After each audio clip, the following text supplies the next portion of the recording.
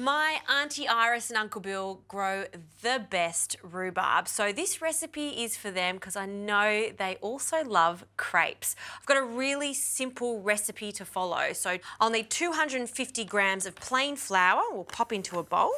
And the difference between crepes and pancakes, for example, is the flour. Plain flour for crepes so they're nice and thin, self-raising flour for pancakes.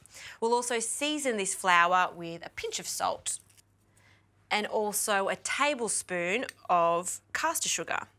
You only need a tablespoon of caster sugar for this because we're going to add the rest with the rhubarb later on and that's for the filling. Now we'll just combine that and I like to make a well in the centre and then we're going to crack three eggs. One, I like to crack my eggs into a bowl first just to make sure that we have super fresh eggs and there's nothing wrong with the eggs. Nothing worse than adding it straight to the bowl and then realising you don't have a good egg. And then we'll pop that into the centre, break it up, and then just start to incorporate the eggs and slowly bring in the sides of the flour. Now, you can whisk it all together, but it will give you some lumps, so we don't want lumps. So we just slowly, slowly bring in the sides. And now we're ready to incorporate our milk. So we need about two cups of milk. Depending on your flour, you may need a little more milk or a little less milk. Ideally, we're looking for the consistency of pouring cream. Now, I like to rest my crepe batter for at least an hour. And the reason I do this is because we get a much better consistency. It will thicken up in the fridge, so just reserve some of your milk for later on. See how that is too thick at this stage? That's pretty much the consistency of pancake batter. So we're gonna add some more milk. Okay, now just pop some Glad Wrap over the top and then into the fridge.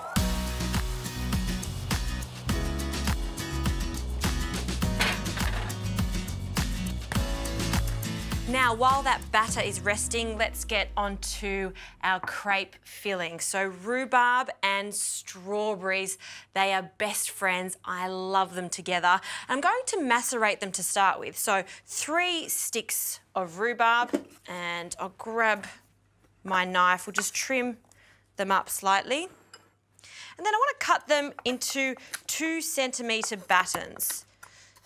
Always give your rhubarb a really good wash and don't ever use the leaves because they're poisonous and not edible. So take the leaves off when you bring them back from the store or if you're lucky enough to grow them.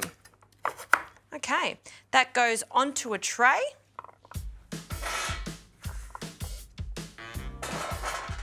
and I want some strawberries. So beautiful ripe strawberries. Have a look at these ones. These are just plump and ready to be eaten. The colour combination is just so wonderful. So we're just going to take the tops off all of these strawberries. I'm going to leave them whole too because we are going to roast them later. I want them to stay in their shape. So I'm just going to continue to hull the two punnets of strawberries and we want to leave them whole.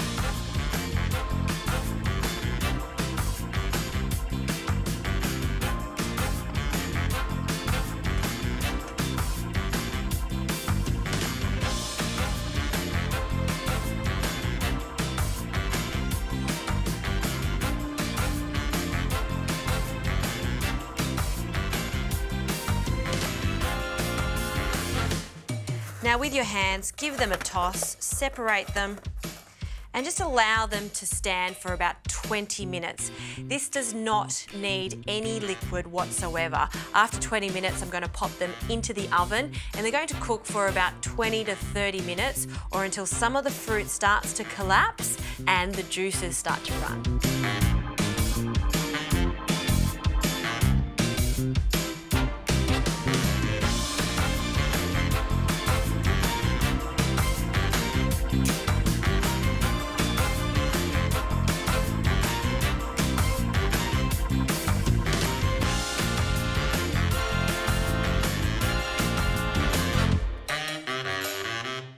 Okay, so the rhubarb and strawberries have come out of the oven. Look how fantastic they look.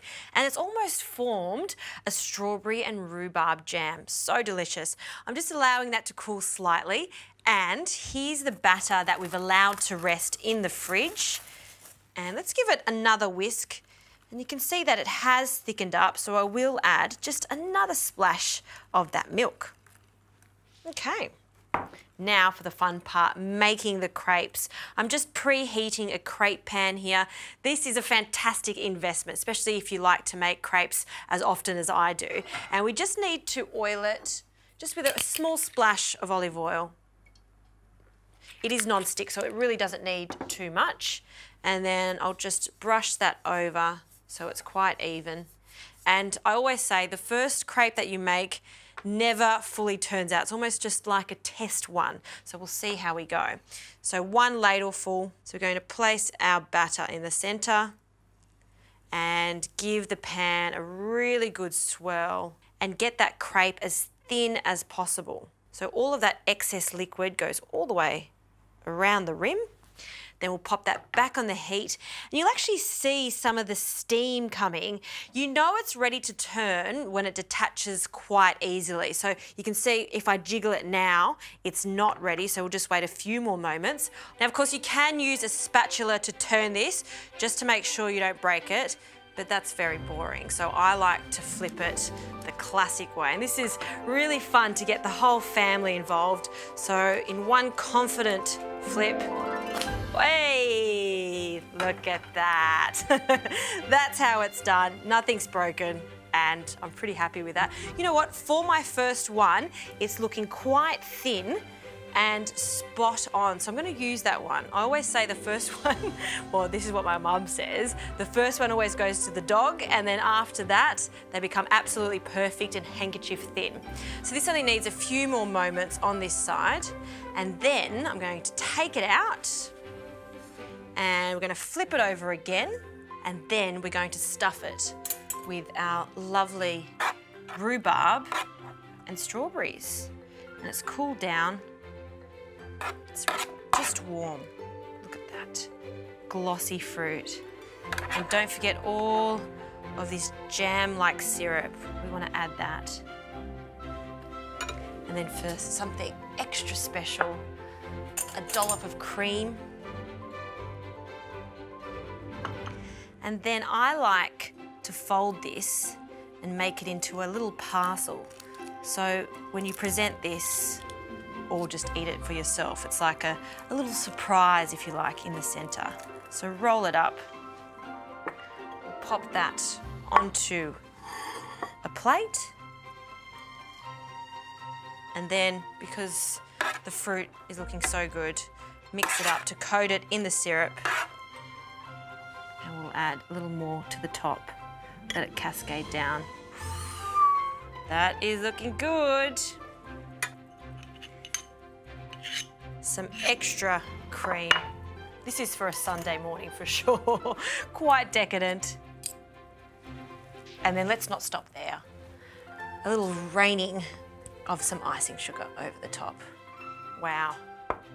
You know, I like the very simplest of crepes with a little sugar and some lemon, but when this is on the cards, well, crepes are taken to the next level.